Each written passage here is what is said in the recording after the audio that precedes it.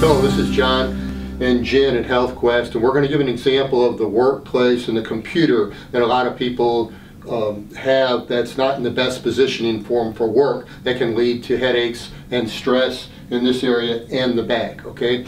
Well, frequently people uh, have their computers back from them too far and, and, and maybe up and they're have their head going like this type of thing. Ideally in your chair you want to be up in a straighter position. You want to have your either your chair raised or the or the uh, computer dropped to a point where you're at pretty much at a 90 degree angle right in here okay? You're able to stay up good and straight like this. You're not leaning forward with your back bent and your head closer to the computer okay?